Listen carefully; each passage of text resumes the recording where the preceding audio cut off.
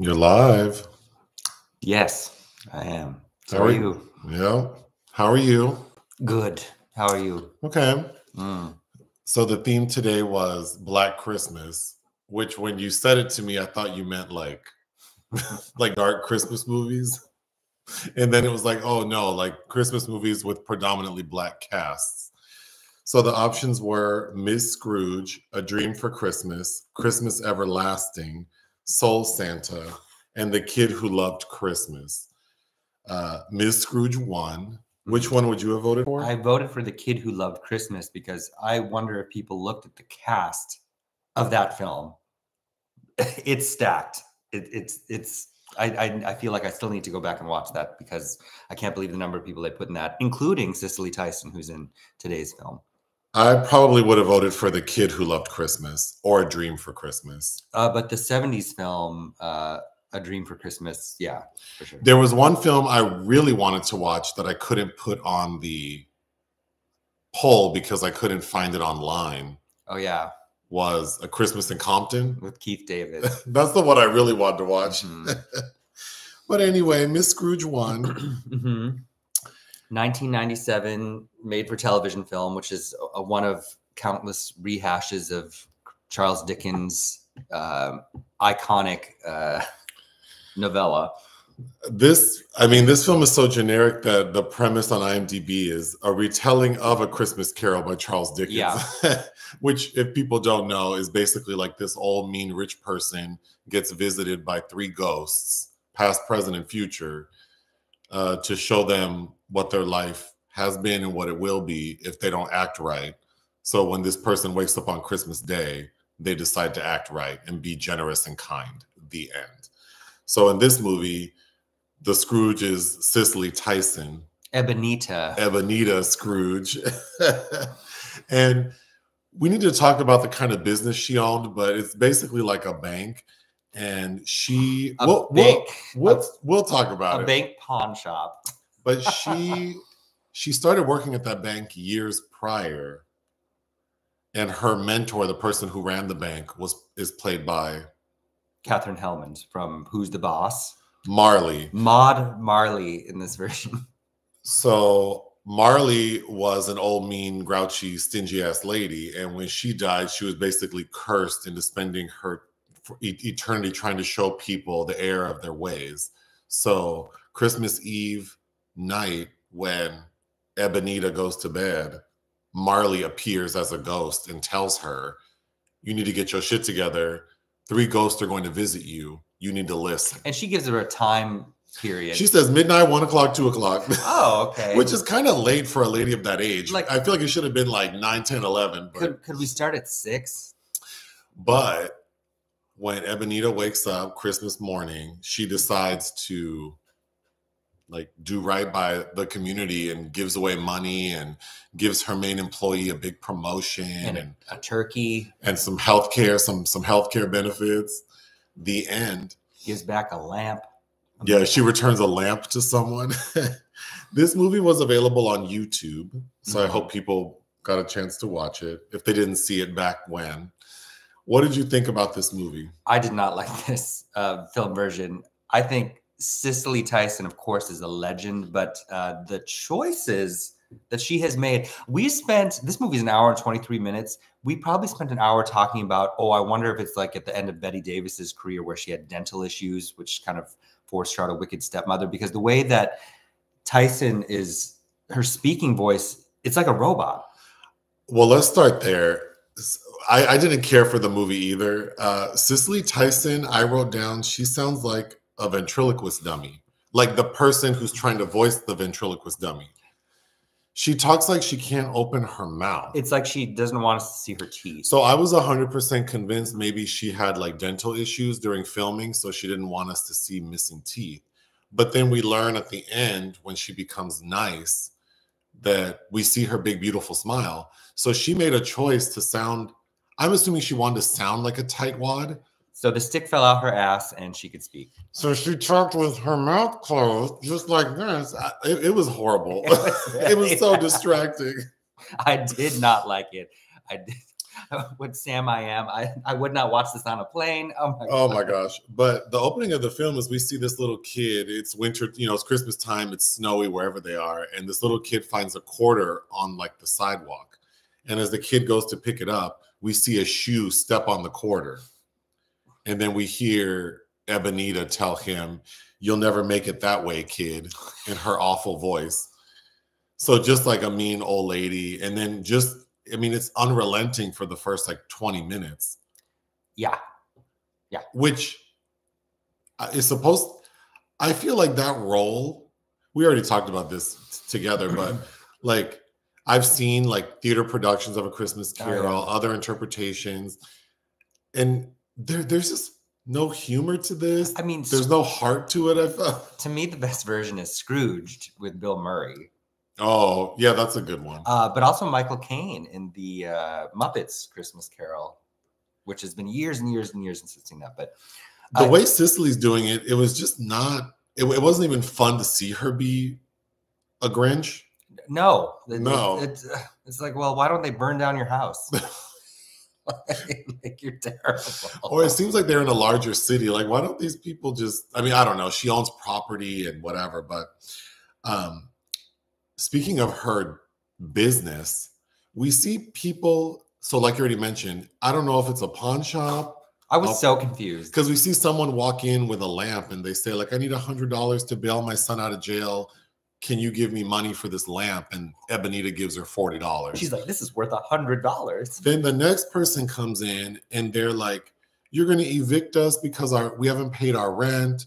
Can't we just pay you By rent by like day. like daily?" And they're like, She's like a hundred dollars a day. "Yeah, she's a hundred dollars a day." And they're like, "That's almost a thousand dollars," which I would kill to only have a thousand dollars in house payment. But Yes. but I know it's a different time. Anyway, so then like, is this a property management company? Then someone's asking for a loan. Oh, they're in Rhode Island, by the way. That's a plot point. Oh, that you're Mhm. you're right. Then someone calls her a loan shark, and then in one description, it this business is described as a firm. I don't think anyone actually calls it a bank, No. and or if they do, it's not clear that she owns a bank. It, I don't think it's FDIC insured. Like it's, I don't know what she's doing, but she has stacks of money. That she carries home to her house. And then she- in like a little bitty metal uh, box that she locks, which we all know you can just rip that box open. And then they keep talk. They talk about her safe, like her hidden safe, three times, and we don't see it. Like there is no real bank vault. But yeah, she brings her money home. It's. She has a cat named Mortimer. I was surprised the lady like her had a cat that she would actually keep in her house and feed it. Well, because it um, we are introduced to the cat and it breaks something, and it, you'd think that she would have killed it.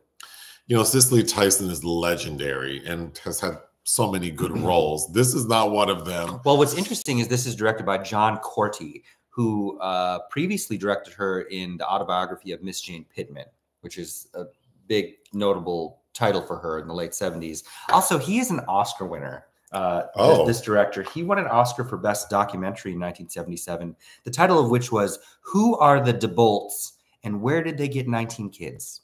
Oh, that sounds interesting.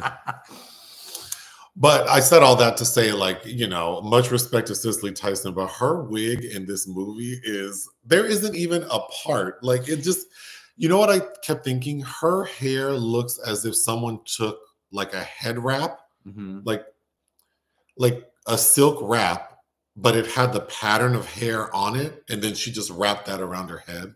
And then when we see her getting like at bedtime when her hair is down, the light, the the, the cinematography is bad Mhm. because I think it makes sense that while she's like a mean Scrooge, then the film looks more dark. But then when she decides to act right, then it like maybe the colors and the lighting would change. But it's all the same. It's just kind of drab. And then Cicely Tyson has a darker skin tone, so she needs to be lit differently. Mhm. And the way she's lit is in some scenes is horrible. In fact, in one point, I thought she reminded me of the poster for the eyes of Laura Mars. yeah, when she's when the ghost from Christmas Past is you, you just see her eyes. yeah, like. I didn't like that for her. It's a Hungarian cinematographer, Elemér Elemér Ragályi. But this was written by John. The teleplay was by John McGreevy, who uh, wrote many episodes of The Waltons. Her employees, she has three of them. She's so rude, but the main one is Cratchit, this man. Mm-hmm. And Cratchit is the father of Tiny Tim. Mm-hmm. and yeah, so mean to her employees, won't let them take like the day off for Christmas. And then she finally does, but she says, Well, the following week you need to work extra hours to make up for the day you missed. And then someone, well, some I- I'm assuming Ebenita put it up. There's a sign in the bank that says, Do not wait until you're thirsty to dig a well. There's a lot of interesting signs in the bank. Um, so this was it's set in Rhode Island. It was shot in Toronto, so that's why Oh. we have a lot of Canadians in the supporting cast, including the man who plays Cratchit, Jean Bourgeois. But more, more interesting than him is the man, who, the woman who plays his wife, Arsinée Khanjian, who is the wife of Atom Egoyan. And I thought it was so weird to see her. And I thought she looked like you said Timothée Chalamet. I Yeah. think she looks like if you mix Timothée Chalamet with Isabella Rossellini. She has a speech pattern like Isabella. Yeah, She's beautiful. yeah, she's very striking, but uh, she's got nothing to do. No, it- well, except be mad. Like, why don't you like Ebenita's so mean? You work this bullshit ass job. How are you gonna take care of us? But anyway, so the three ghosts visit. So the ghost from Christmas past shows up, and what do we learn about Ebenita? When she was young, she had a loving family. It appears that maybe it was like the the the, the 40s or the 50s. Yeah, and it, it, she was close to her father, but it appears she's resentful to how he spent money because he he was trying to be a black business owner, and of course they're in the South, and uh, the, the grocery store that he's purchased burns down, and him in it. And it seems like it's a racially motivated thing. And Ebenita witnesses her dad be burned alive in his bi- business. So, of course, she has really strong feelings about being successful, saving money. She also had a puppy that she lost. Mhm. So, that is like the beginning of her having like a cold heart. Um, the little actor who played young Ebenita, Mhm. Raven Kelly. she also played uh, the young version of Anna Mae Bullock in What's Love Got to Do with It. She's a cute little girl. Yeah. But yeah, her family had financial problems after the dad died. I think they ended they ended up having to sell the home they were left by their grandmother. So she's resentful about She's that. resentful. Then then more heartbreak. She had a brother a brother who went to Vietnam. and then she moves to Rhode Island. meets a guy who she seems to fall in love with, but then the guy says, which I thought was really unreasonable of her character. The guy says, I got an opportunity over here. I was hoping you'd come with me so we could build a life together. Back to the South.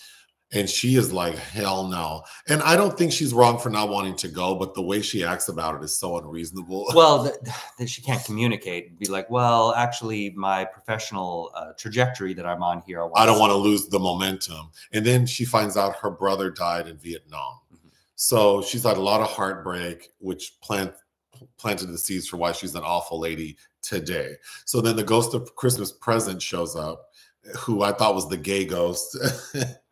and this is where we get to learn about Tiny Tim. And something that's different about this movie is they actually identify that Tiny Tim has a slow growing congenital tumor mm-hmm. because in most adaptations of the story it's just that tiny tim is you know i mean i think he's ailing he- yeah he's illiform cripple, whatever you want to call him. but yeah he has this unidentified condition which i felt like is pointless in this movie to say because the little kid playing tiny tim looks quite happy and healthy. Yeah. and he just has crutches so it's like and, and then the home his family lives in looks like a, like an industrial loft. It's hobo chic yeah. Yeah i mean i know or boho chic. boho chic. Um Zoe Dosh or Zooey Deschanel. hobo chic.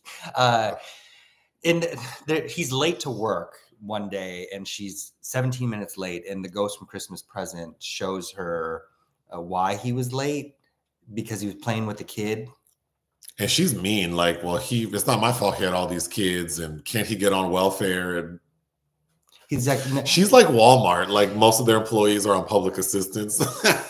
yeah what's that family's name the walt the Waltons. The Waltons? Yeah. uh yeah she's like well uh or the ghost tells her that he, they can't get on uh, public assistance because he makes just he makes too much. just a little too much to be below the Mm-hmm. poverty line. Damn. Um, We also we see Tiny Tim's sister, who I thought looked exactly like Dustin from Stranger Things. Oh yeah, that kid, uh, child. Yeah. Gaten Ma- Matarazzo, who I was reading about him. He has a sister named Heather Mata- Matarazzo, but it's not the one we know. Not from Welcome to the Dollhouse, Heather Matarazzo. She's the one who made that video about how she's poor From the yes, And- after she got cast in Scream and drives a five. Toyota Prius and can only buy one pair of shoes a year. Mhm. Um, then the family that pawned the lamp, no, the family that was going to be evicted. Mhm. We find out that they did get evicted and they move into the school gymnasium. because the the wh- whoever lets the the ladies like oh it's not going to be used for the holiday season so you can stay here That and the mom's like the kids love it here yeah, because they're the gymnasium is outfitted like an apartment. It has a couch, bed. The kids are riding their bikes like around.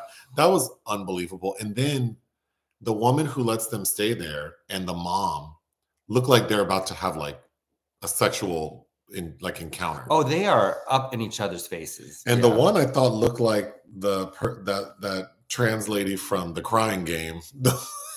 jay rodriguez yeah, but the way she's looking at the other lady is like she wants to eat her alive. uh-huh Then, so Michael Beach is in the movie. He is Cicely Tyson's nephew, and he's a preacher man. And he gives a sermon that I thought was one of the most dry sermons I have ever heard. Whoever wrote that, and then the story he tells is about how, like, when you're in hell, they have everyone at a big table with all this food, like the best feast you've ever seen.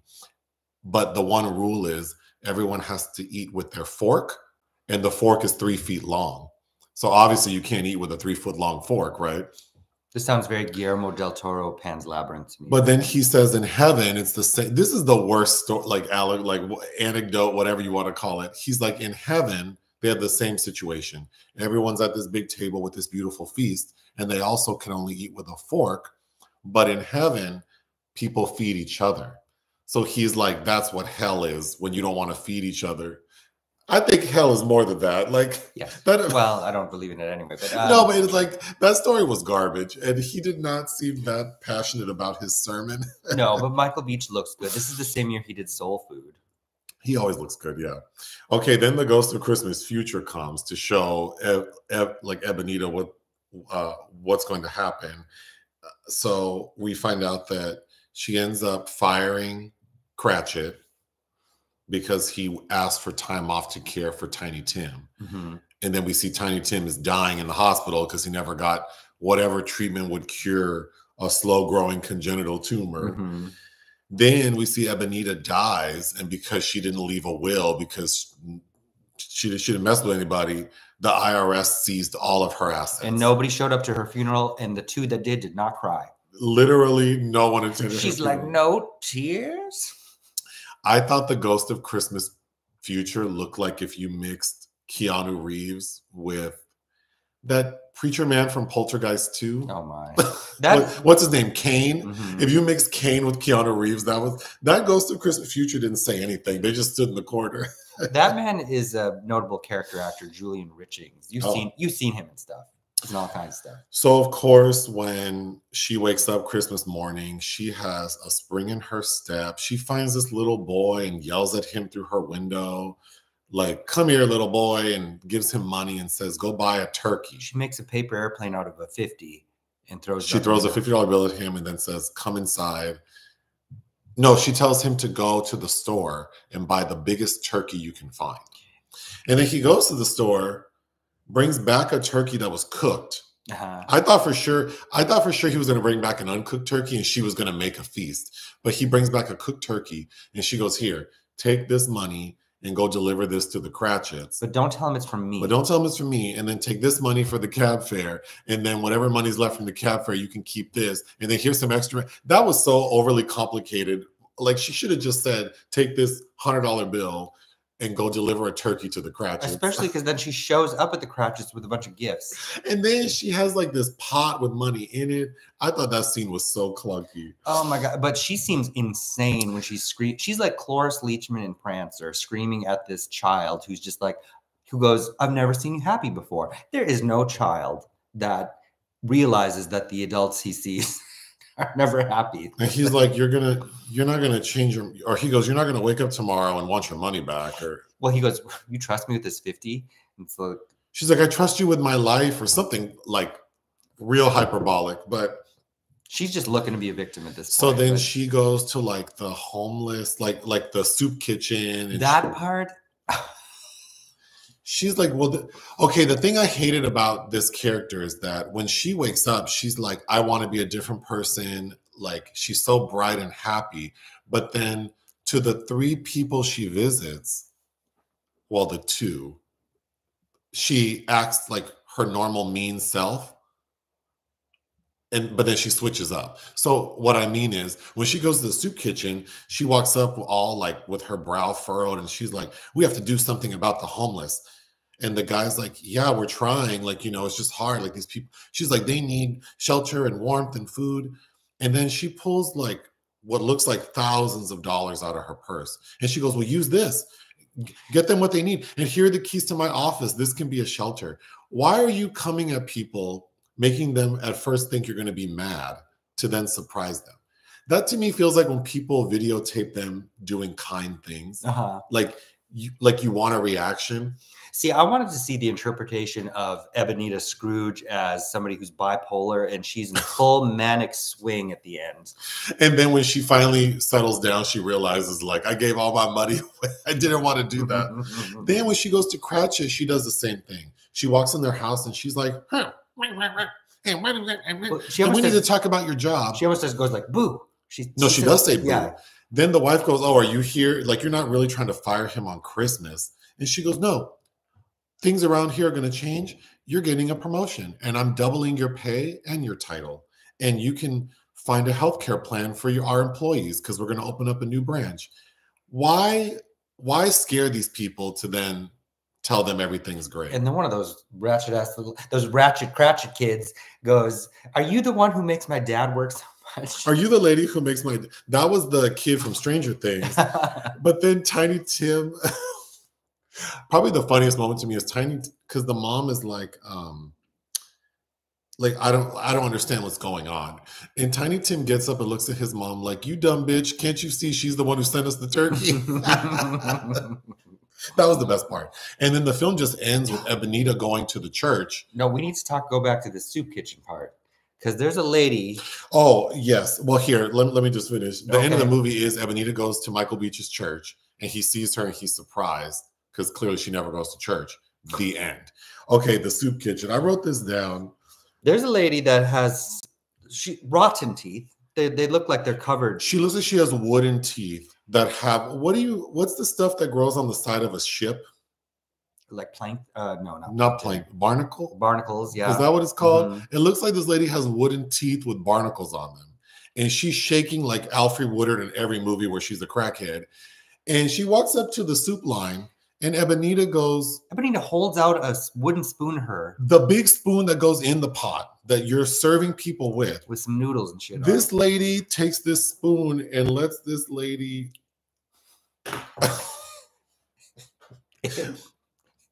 I was done. I was done. And she put that shit back in the pot. Clearly, she doesn't have her food handler's card. Like, you cannot do that. That was so gross. And the lady's like, "Thank you." That's all I have to say. This this was not a uh, a worthy uh, adaptation of the source material. Charles Dickens would be mad. Charles says, "What the hell did you do to my story?" Jesus. What would you give? I'm being very nice and giving it a two. Very nice. Yeah, I'm giving it two out of five to be nice.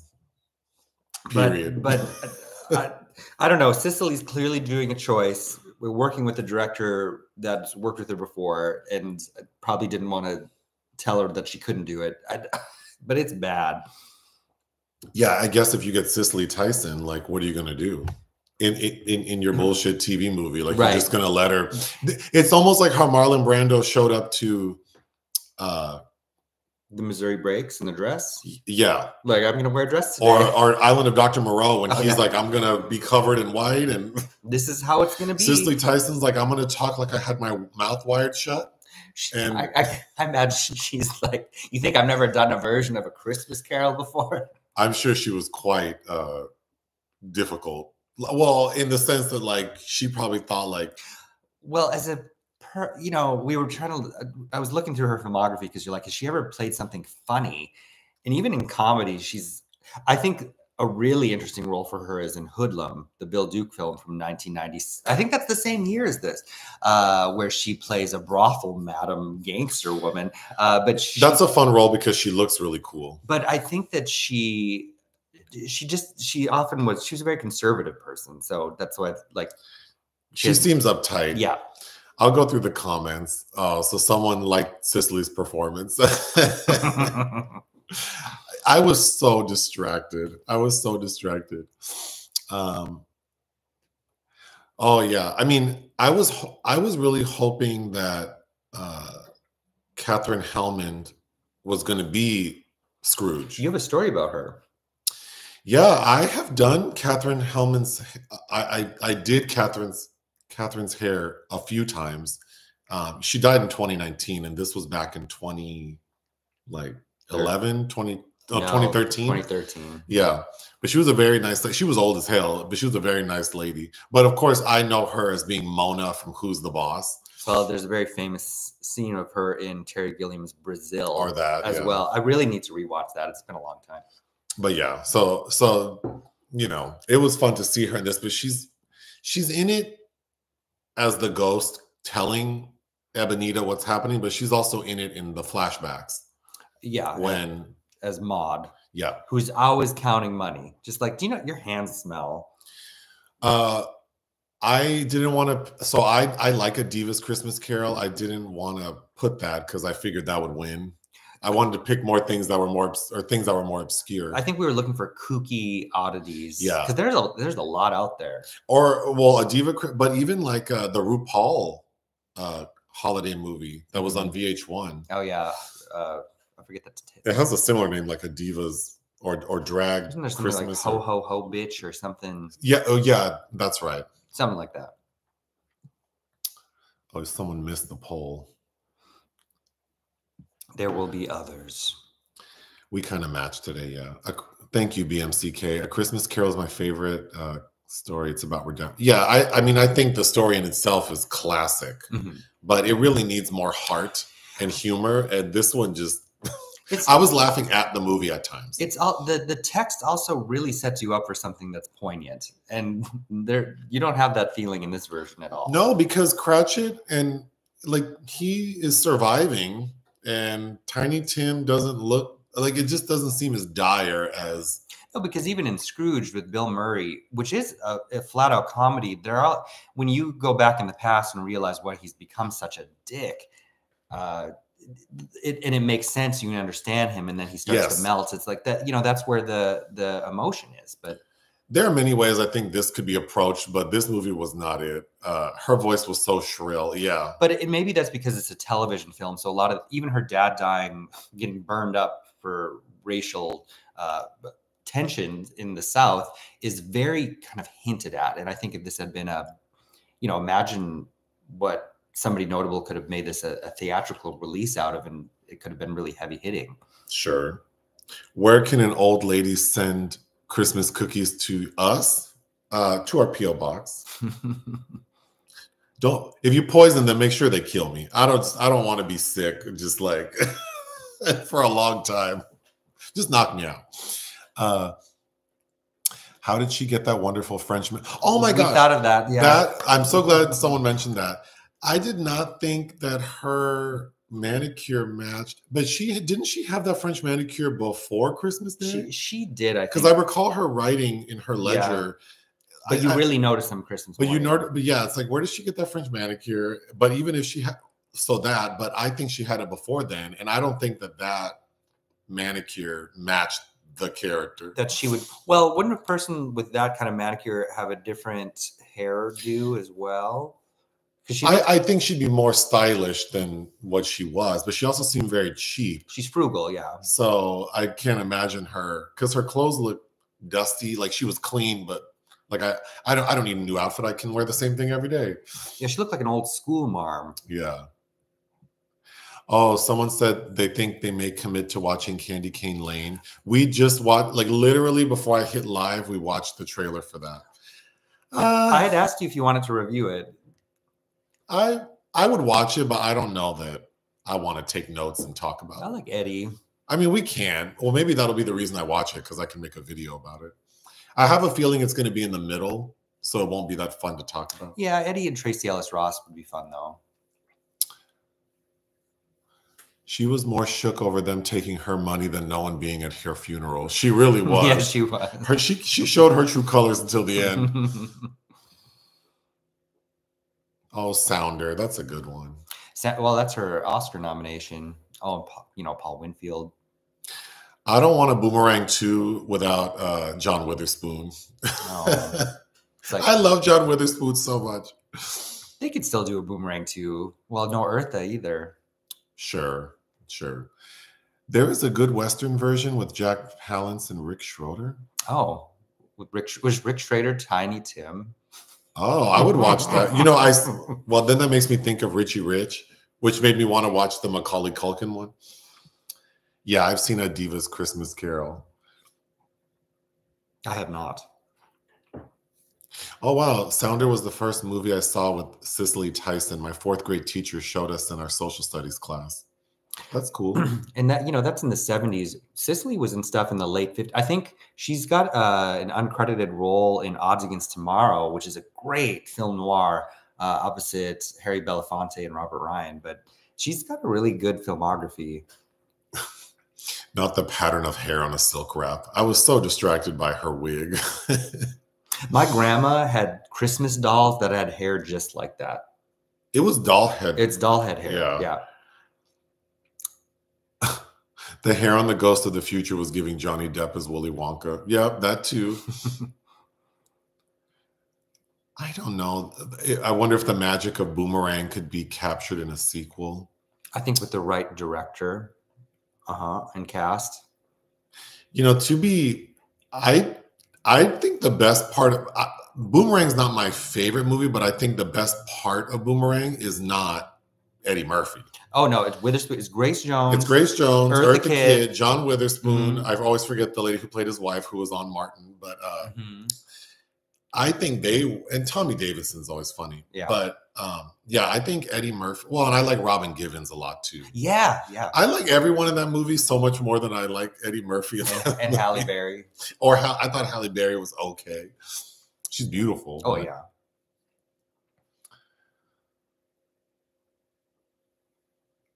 Oh, we we just watched uh, Madea's family reunion. That, Um, and now I'm complete with all the Madea films. yeah, but Cicely, her little monologue.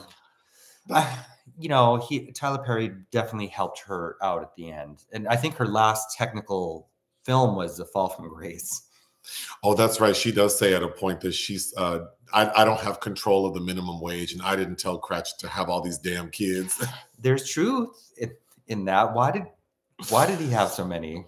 Uh, well, how many did he have? There was a lot of kids. I almost only that saw little two. loft. I, I, there were more than that. There are more than two kids. Oh, I think in my mind I attributed more of the ones in the alley to him. I think he was with all those kids in the alley, okay, sure. but I don't know.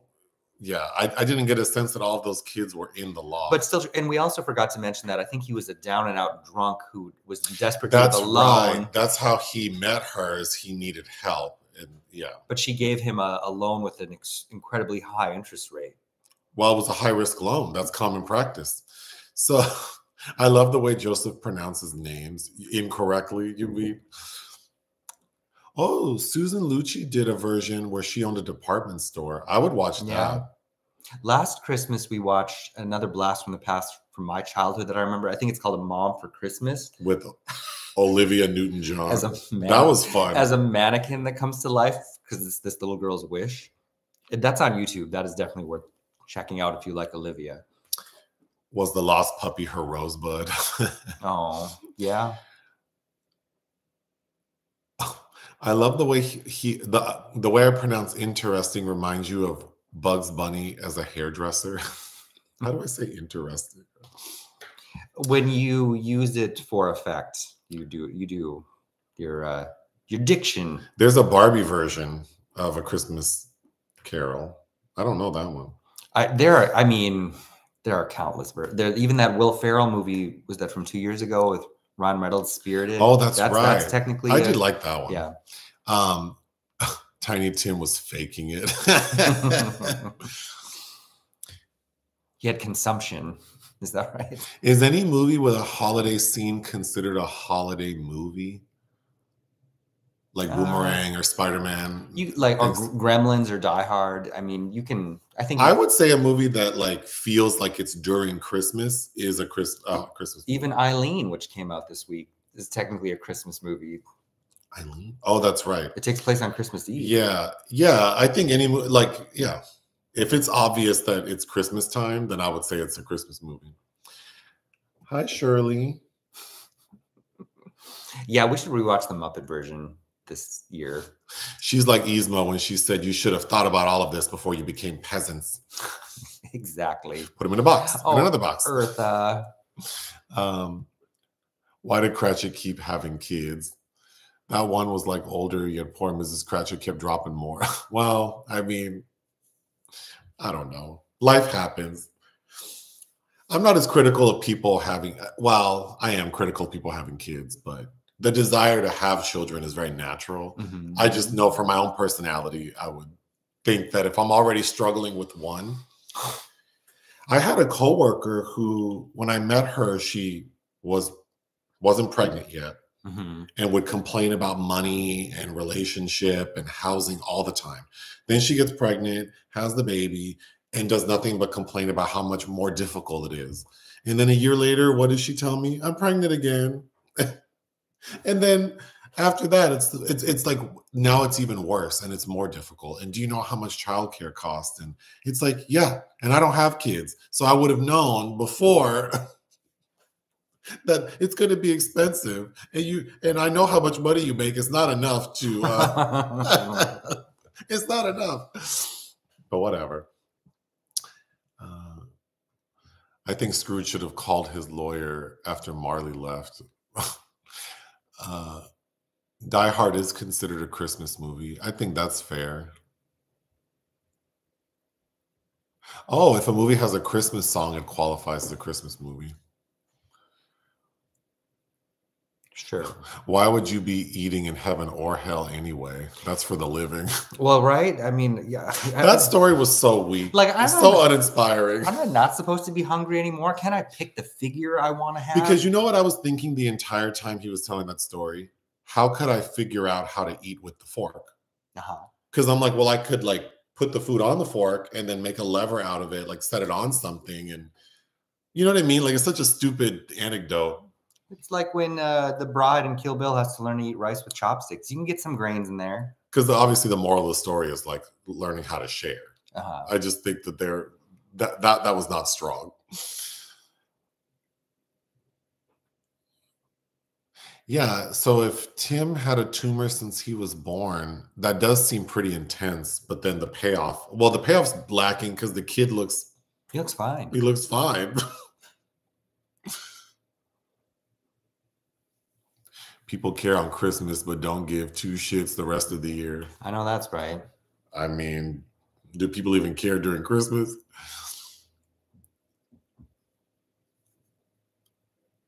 Violent Night or Violet Night? Violent. Violent. Have I seen that? Yeah, with David Harbour Oh, that's right. and Beverly D'Angelo.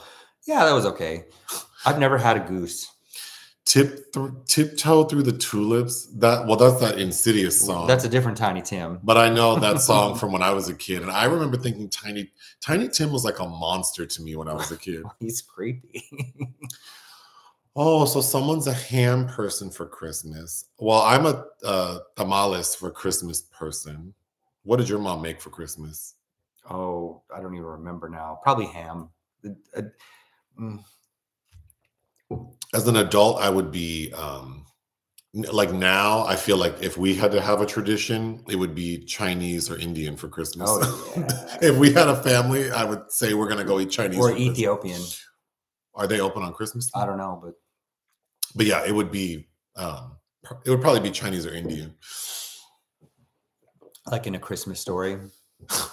Can we talk about when she fed that lady soup with the wooden spoon? Yeah, that was I was on the couch like, no. What about a- any children that grew up during filth, filth. Even the homeless deserve sanitary uh, conditions. This is this is ridiculous. Be like, but couldn't you? Could you? Could you give me a bowl? I would rather she dipped her hands in the bowl and did this versus I put don't that want spoon. I don't want that either. No, just put it in my hand. If I were a, if, I was that little boy, there's no chance I'm waiting in the cold snow for some old lady to fold me a paper airplane. Right. Well, that part, but also he, it's not just any old lady. It's Miss Scrooge, who he knows is a mean old lady. I would have been like, all right then, like keep it moving, because he didn't know she was going to give him money. no, that she's scene was not well done, and just- she seemed crazy. just wailing like a dental drill out of her window. It's like, leave me alone. Cratchit's wife did seem ungrateful, though. Well, Well, also, does she work? Well, that, you know, I always think, well, because I'm a, mo- you know, I'm a modern independent lady, so to me, it's like, well, like, what are you doing? I don't know. Well, she's a homemaker, which is a full time job. There's not much to make in that home. She could do something. Yeah, when you don't have shit, what what is there to manage? I mean, I don't know. like, leave the kids at home and go to work. I mean, they could. They're already suffering. I don't know. Um, Learn a trade you can do in your home. I don't know. I made a beautiful Wellington for my now ex husband. He was so mad that it was pink in the middle and screamed at me while he pan fried his slice. Uh, our first Christmas. Beef Wellington. Um, what did I say? Wellington. Oh, I, you know, it took me growing up. Well, we didn't have money. Like as a kid, we didn't have money, so eating like a like a nice piece of meat was not ever really an option. So we usually ate like the shitty cuts, which require that they be overcooked, right? Like uh, in a crock pot or a lot of like flank steak that was marinated Charred. in some sauce forever. So that was my idea of beef. So then when I finally had access to nicer things, which at first was people taking me to dinner. So when I first, you know, like in college and like go on dates and these older men would take me to these fancy restaurants. And I remember the first couple of times learning like you do not order your filet mignon well done. No, no. they looked at me like they's trash, Miss Charlotte. These trash, Miss Charlotte. These trash. Yeah, just don't get it then. Just don't get it. yeah yeah but um i i now i enjoy my meat uh, my yeah it, it can be a little pink nowadays Yeah, yeah. But they're, they're, yeah. That I grew up that way too. I think there's always the fear of uh, getting worms in my. My dad was a hunter though, so he would, you know, shoot live game and and dress it and make. So there was always uh, a, a fear of contagion in my house as well. Everything was in the fridge all the time. Peanut butter. Like people that keep their eggs or butter out, like that blows you my mind. you do like to throw everything in the refrigerator I do. That's because i think when we first met you would put bread in the refrigerator Yeah. and i'm like That's don't right. nobody want this cold ass bread That's right. Yeah, I've gotten out of the habit of that, but i forgot about that till just now mhm. yeah, like, why is he putting bread in the That's how I grew up, and also never throwing anything away. and nick won't throw anything away Food. I have to, well, other you you just you don't want to throw anything away. I have to sneak things to like throw them away. like food. You'll well, you'll have to let me know. Ooh, if I catch you throwing out my things, Then what you gonna do? oh, you'll see.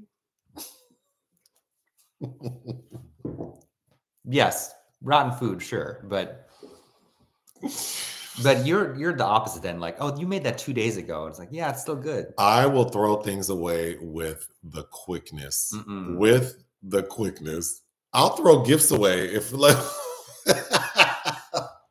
especially at work when people get because I get a lot of stuff like Well, yeah, that kind of stuff. But yeah, if I don't need it or want it, I'm not. Yeah, it's getting thrown away. There's no point. I think, I think it feels good to let go of. Because also, it's like this thing's been here for so like an unreasonable amount of time, right? Like just anything, not even food, but it's like, oh, this these pair of pants I haven't worn in six years because I've gained too much weight, and it's a constant reminder that makes me feel bad about myself Well, yeah. what's the point or like some anything that's like, well, what like what does this tchotchke even mean? Like, what value does it have? You know, that's how I. I I mean, I always say everything I own could fit in like a small bin, like that that I would want to keep, because a lot of things are replaceable. A lot of things remind me of things that I don't even want to be reminded of, like, but I just keep them anyway, like, or that are around that I don't need. Whatever. I, I've made my point. Yeah. Note taken. Oh, okay. We should review a Christmas horror story with William Shatner. Have you heard of that? No, oh my god. I still love that movie in Esperanto. oh, oh, there are more comments than I thought there were. Okay. oh, oh. Oops.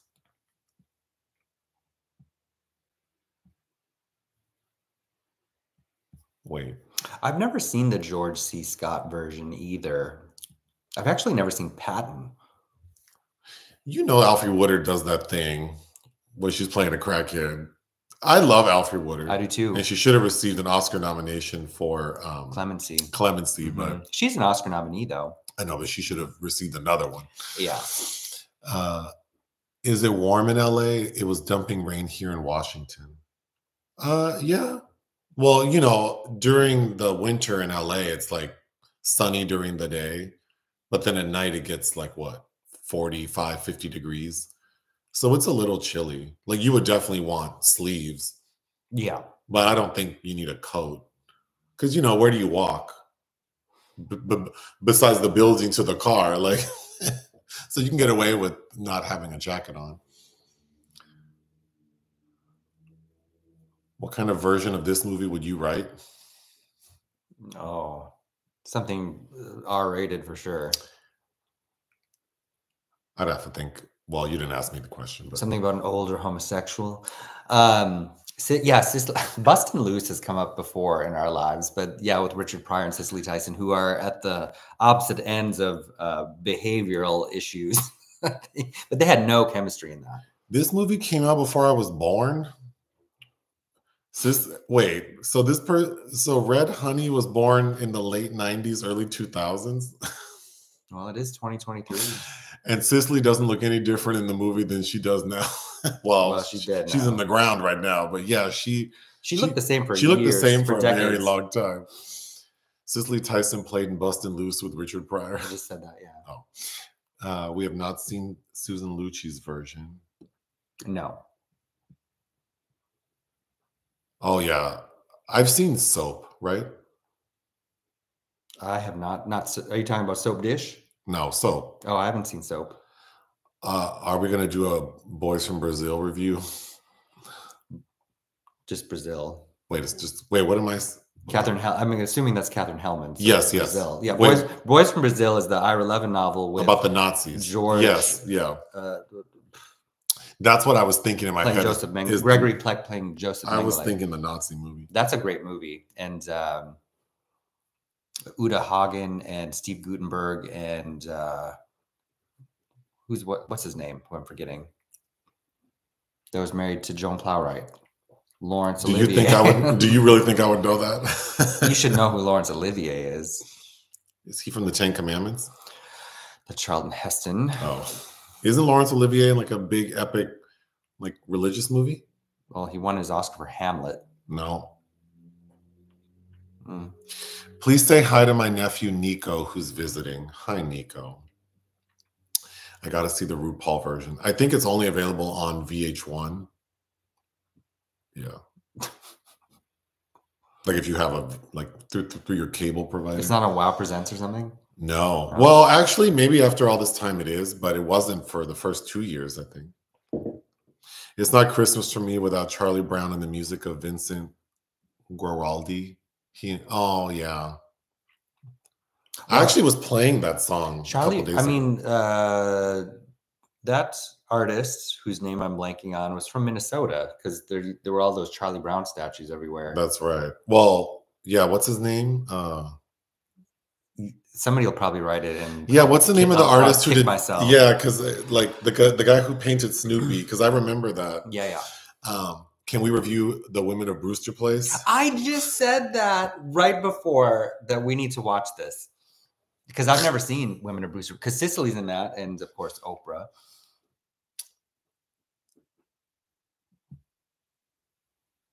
Oh wait, so I'm I am lost. Okay. Like Scrooge. I'm lost like Scrooge. Have I worked with scalp pigmentation? Uh, no. My thoughts. I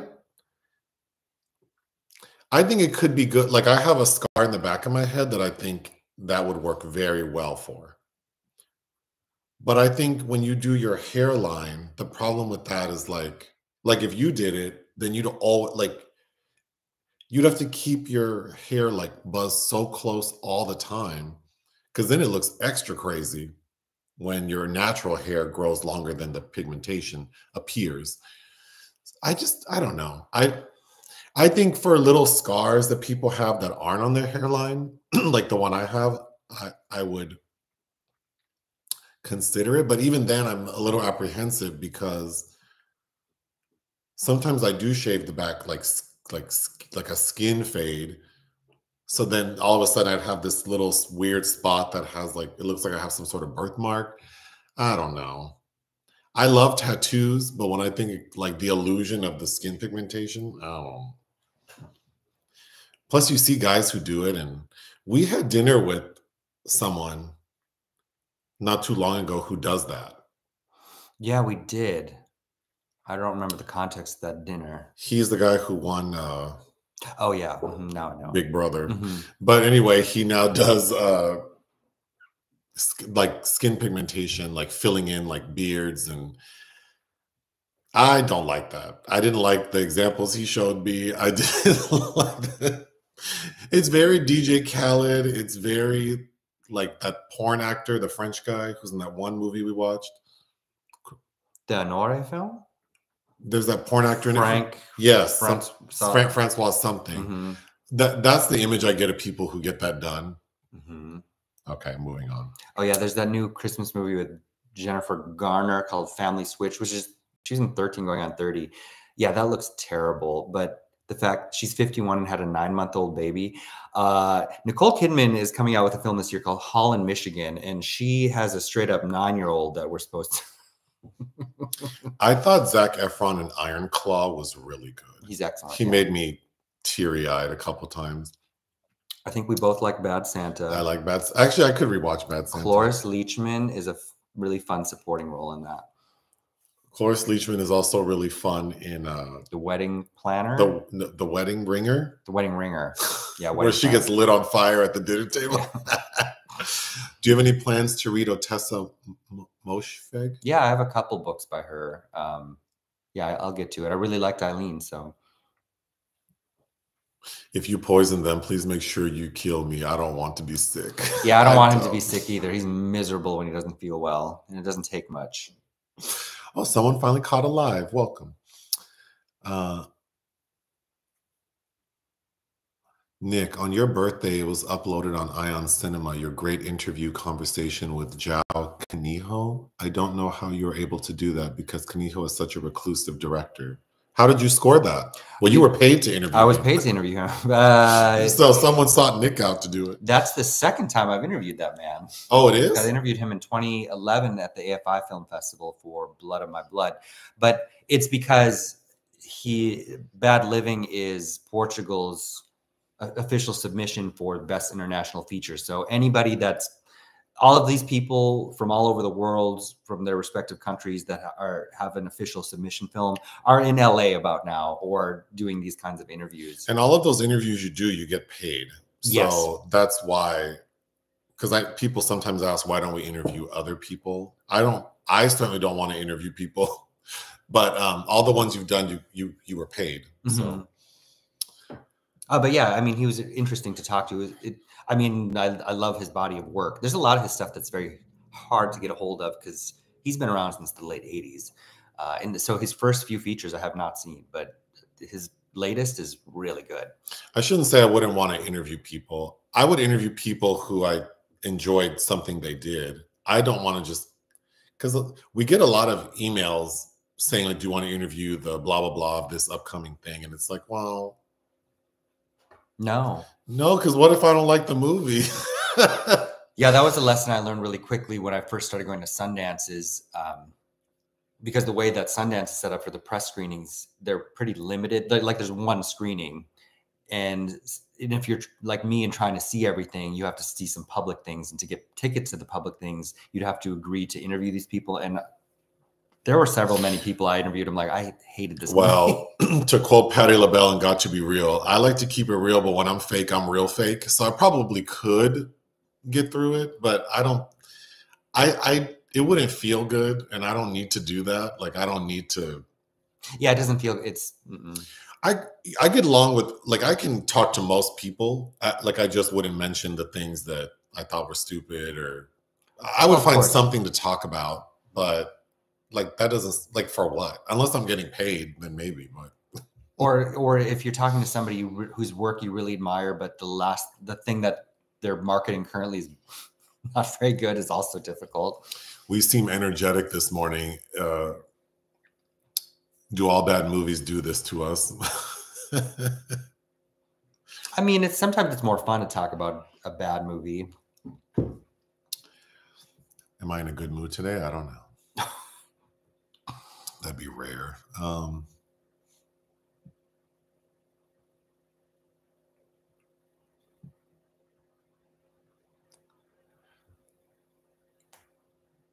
I just got lost. you, Oh my god, a, vasect- a vasectomy is so easy. I did one in med school. The dude ate chips and texted on his phone, drove himself home. and they are reversible sometimes, I understand. Mhm. What is this about Tiny Tim dying on stage? oh Thank you, Jonah. Mr. Joseph, if you if you don't mind me asking, what is that? What is that a picture of right above your stove in the middle of their kitchen?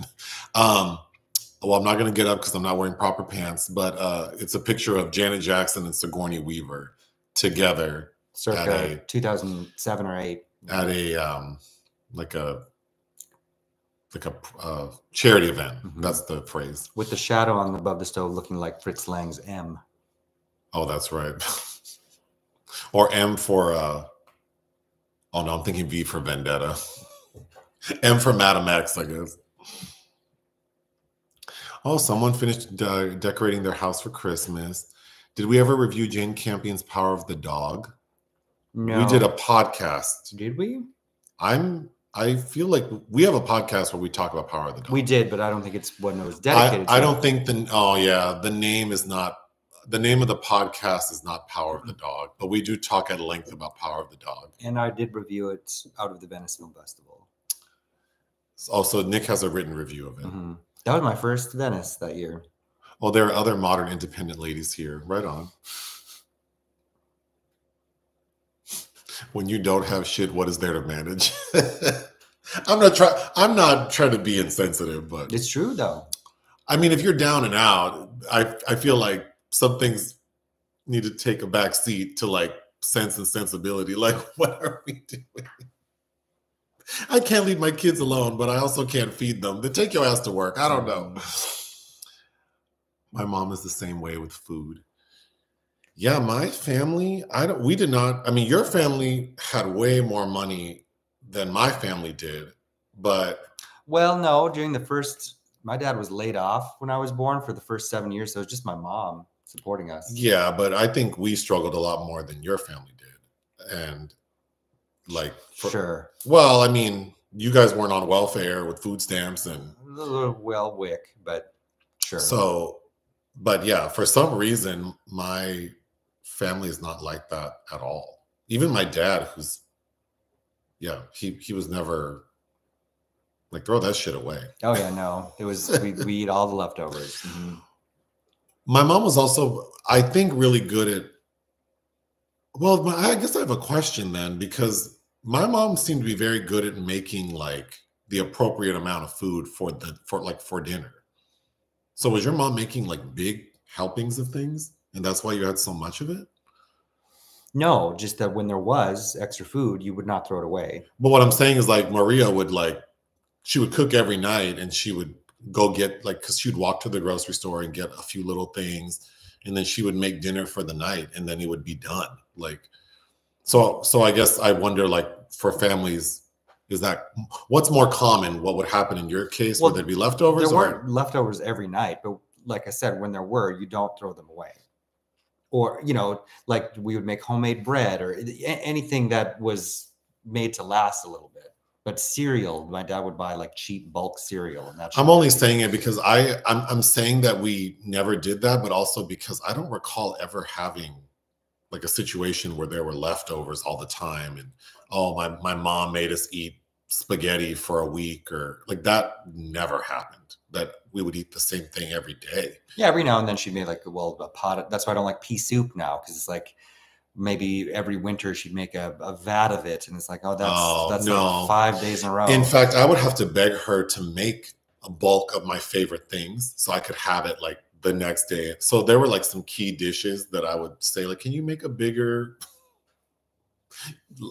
yeah uh, oh it's after one hour Ooh, you lost 15 pounds in four days from bad cheesecake. Oh, who was just really sick?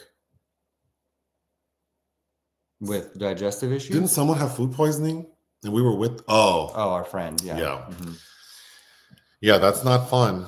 Oh yeah, Christmas. Oh, Sigourney'd be Charles Schulz. Charles Schulz. See, yeah, then and then Thank you. uh, yeah, Sigourney'd be great in uh, as Scrooge. Do I belong to Marie Kondo's school of decluttering? well, I'm not that strict because I don't live alone, but if I um, did, it would be barren. I've never seen Ruby in Paradise with Ashley Judd. I remember the VHS cover, and I remember my dad because we were at the VHS video rental store, you know, once a week, and this old lady who chain smoked at this place called JC Video was like, "Oh, have you seen Ruby in Paradise?" And my dad's like, "I'm not renting that." We kept everything in the fridge too. Plus, Nick is a low key hoarder. We definitely could live together. Well, if you want to DM me, I can maybe make that possible.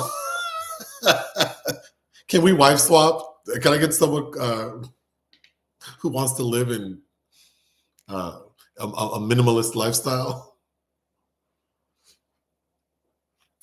Mhm. Yeah, I did say all my things could fit in a lunch pail. I actually have a Beetlejuice lunch pail with all my little things that I would want to keep. And that lunch pail has like four things in it. There isn't even, How about that? although recently my mom gave me a bunch of old school stuff that, I mean, I would probably throw away the next time I find them. But, Mhm. but here we are. Mhm.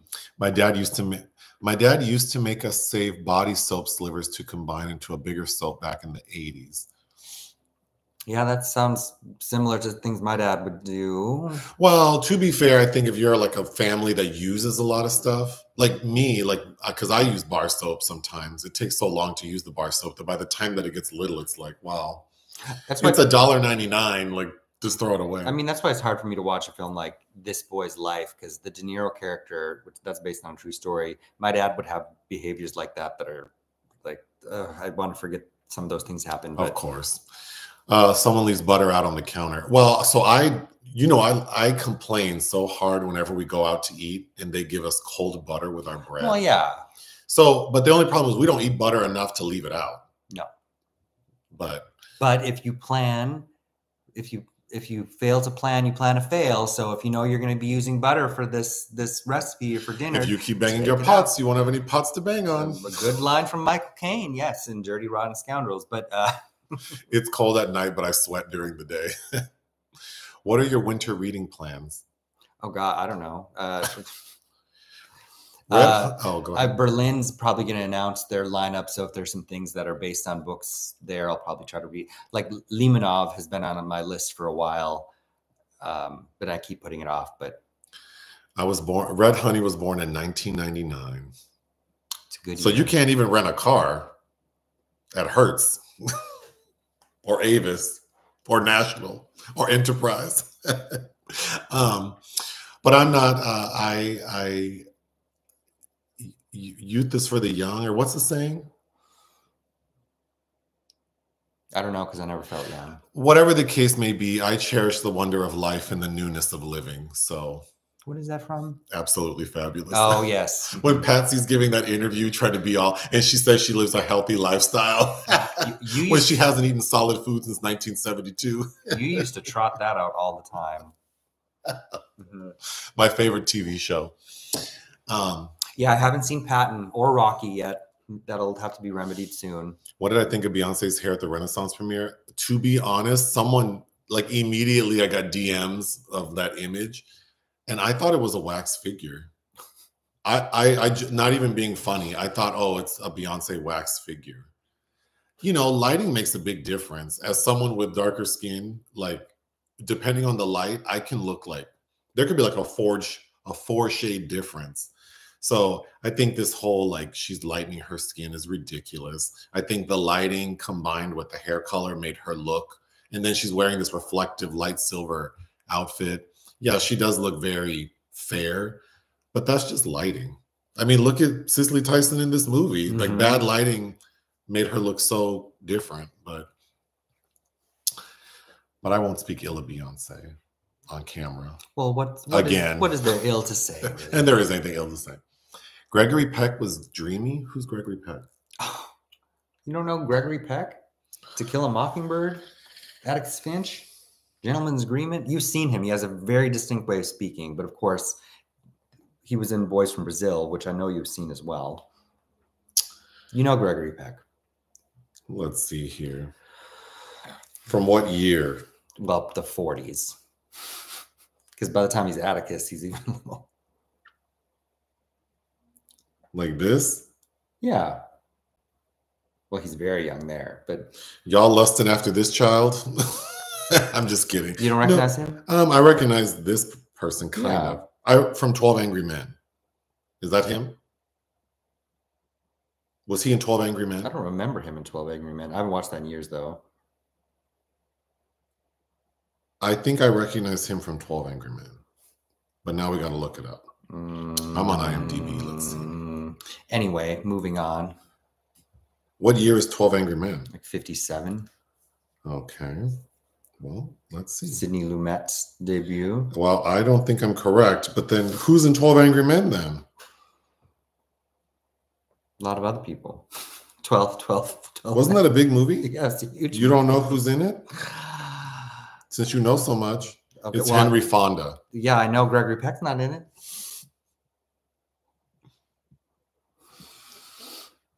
Do we get a live tree for Christmas? No. We don't even have a fake tree for Christmas. We used to for years. well, we used to, Mhm. and then I got rid of it, as I'm wont to do. Yep. He's like, oh, a light's not working. You got to throw this away. Joseph loves to throw things away. Anything he can throw away. Doesn't want to recycle per se. I won't throw you away just yet. Um, Me trying to recycle aluminum cans. let me tell you what Nick is doing. Oh my. Oh my. One day Nick says, I want to start recycling cans. And I'm like, okay, because we drink a lot of stuff in cans. And we have the bins, like in our garage, we have the the the black bin and the blue bin for recycling. So I'm thinking this man is going to start actually putting cans in the blue bin. No, we were doing that. But then he says, no, I want to collect them to take them to the recycling center. Yeah. Like a damn hobo. And I don't think you understand that the bad. So, so I said, what I don't want to have happen is my garage is filled with cans. And it's not. Three months later, it's just a big bag of cans out there. It's not full. They're crushed. But wait, he, he does crush them. The problem is, I don't think you understand that all this effort and time that it's going to take to go and do it, you're going to get like $7 out of that bag. It's not worth the time. You should put that bag in the blue bin and then let the people who salvage the bins take them so they can get the money. You don't need $7 and you don't need to clutter up my garage with cans. this is a topic for off camera. Well, the question is, why are you are like are you recycling for sustainability or because you want seven dollars? That's the question. Lawrence of Arabia, What about it? who's in that movie? Peter O'Toole and uh, Omar Sharif. Christmas Carol in space. Well, the cat didn't bother the Christmas tree really. And now we have a nice spot for a Christmas tree because we could put it downstairs in front of that window hmm and that yellow chair could move. But I, you know, like, you know, if things go well, I think next year, like after Christmas, I will get a tree, like, you know how they go on clearance, like markdown? I'll get a nice tree to save for the following Christmas. Have you seen the ref? Didn't you talk about that recently? I love the ref. Uh, Denis Leary and Christine Baranski, I think, has a great role in that. And um, the guy from The Godfather, that's his little sidekick, Judy Davis.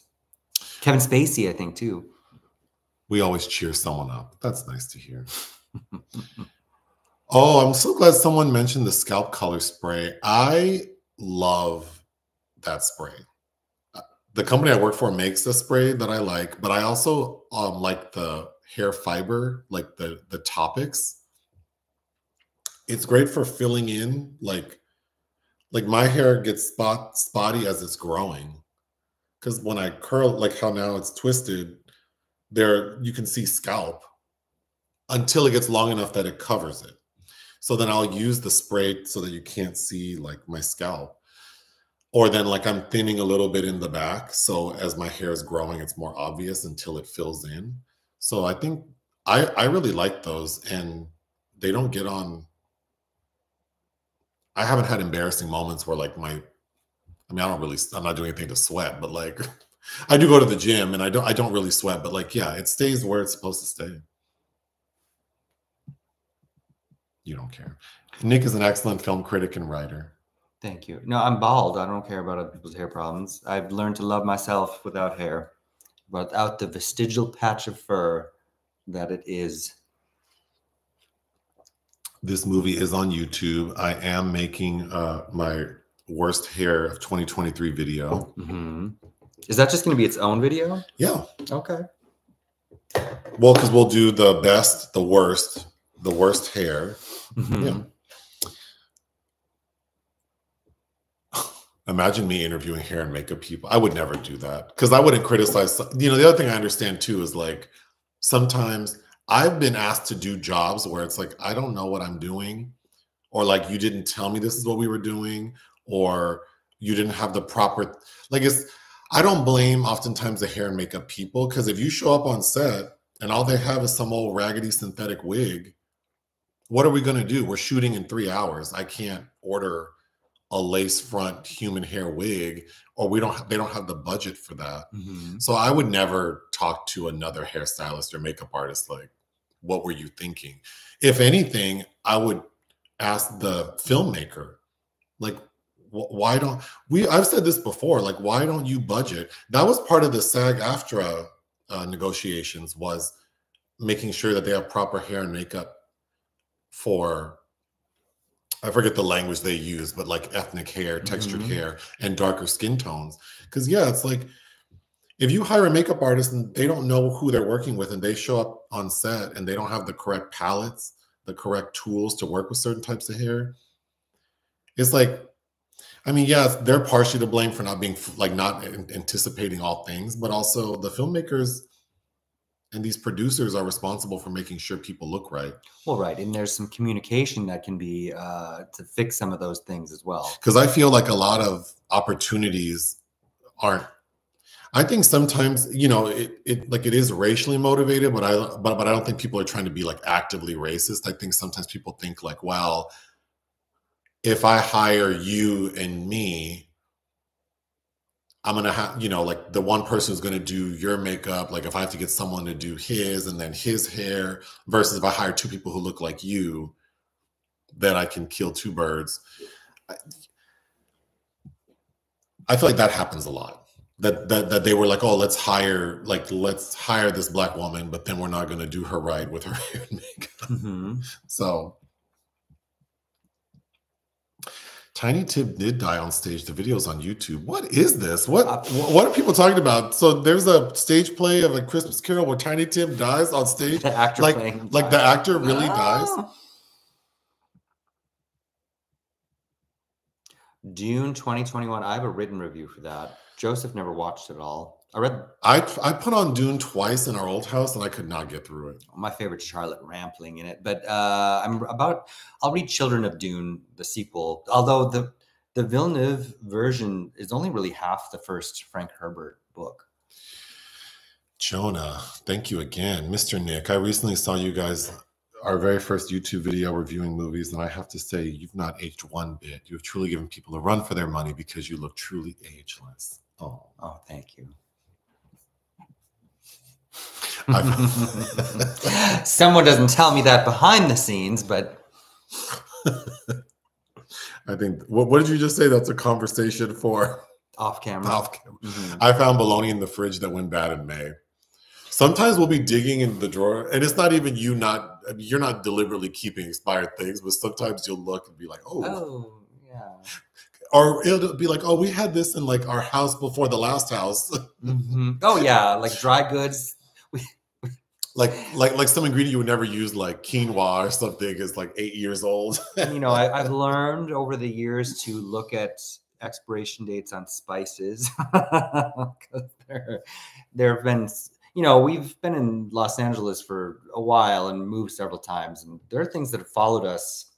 There were spices that followed us from Minnesota, yes, like some Mrs. Dash shit. yes, that Mrs. Dash was probably like ten years old. Expired in 2010. And we threw that away two years ago. Yeah. Red Honey can rent a car. It's just at a higher price. Well, that's good. Someone called Beyonce Jackson. how many ab fab? How many waking up in a dumpster with a smashed cig and a smeared lipstick? I love that show so much. Yeah. Without being maudlin, I totally feel Nick's. I never felt young makes aging easier.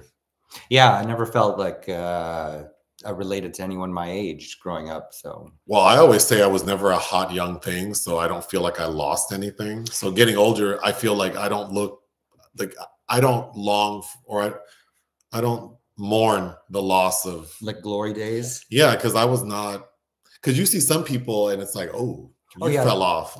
Yeah. High school was your high school was your moment. It's like, no, I was, uh, I'd rather have the opposite be the ugly duckling. I do fall down rabbit holes. Oh yeah. Roman holiday with Audrey Hepburn's Oscar win Okay, with Gregory Peck. I need seven dollars. I'll give you seven dollars to throw those cans away. It's the principle. It's not the money. It's the principle. What if someone said they'll come take the cans? Take them. Take them. If someone wants a bag of uh, aluminum cans, you could have them, and then you'll feel good knowing that you helped Mother Earth. hmm Have you watched The Gilded? No. Somebody had a Herzog question I missed. But You look great without hair, Nick. You're a beautiful bald white man. thank you. I thought you were wrapping up the stream. Oh, is that what you said? Oh, or is, is someone saying you want me to wrap it up? Okay. Um, you have a good head for being bald. That's true. Thank you. Yes, I love Night of the Hunter. That's a Robert Mitchum and Lillian Gish. Shelley Winters is so damn good in that. Mm. We haven't eat it, eat it. I, I haven't eat it yet. Um, I found food from the Obama administration. Oh my God. Have you seen like Water for Chocolate? Oh yeah, I mean What's the the best magical giallo? realism movement. Best giallo. I don't know. Fifth uh, fifth Cord I have seen with uh, Franco Nero. Right. Oh, I Suspiria is just the early Argento films are fantastic, but Well, I'll, um, I'm sure we'll do a live next week. I'm not sure what the theme will be. Um, and what have you done to Solange? That's a good giallo. I don't know. I thought you said Christmas animal. oh, yes. Maybe Christmas films related to like animals, like how the dog saved Christmas. I was inspired by the most recent How Did This Get Made? I would um, like to watch Prancer, but that's just me. All right. Well, do you have anything else you want to say? No. All right. Bye.